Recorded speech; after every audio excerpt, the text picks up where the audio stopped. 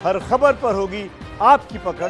Download कीजिए ABP live app अब मुंबई से ही दूसरी खबर का रुख कर लेते हैं। फ़िल्म इंडस्ट्री के महानायक कहे जाने वाले अमिताभ बच्चन की हालत में तेज़ी से सुधार हो रहा है। अमिताभ बच्चन नानावटी के आइसोलेशन वार्ड में शनिवार से भर्ती। उनके फेफड़ों में जमा कफ की मात्रा 90 फ़ीसद तक कम हो गई है जो एक अच्छी खबर है। नानावटी अस्पताल ने बताया है कि अमिताभ का ऑक्सीजन लेवल भी अब सामान्य है।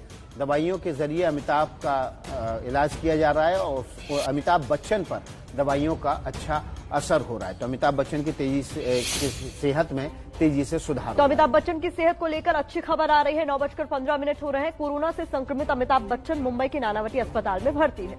कल रात अमिताभ बच्चन ने एक ट्वीट किया। अमिताभ ने अपने ट्वीट में लिखा सभी से ईर्ष्या घृणा करने वाले असंतोषी क्रोधी सदा संदेह करने वाले और परायों के आश्रय जीने वाले ये छह प्रकार के मनुष्य हमेशा दुखी रहते हैं।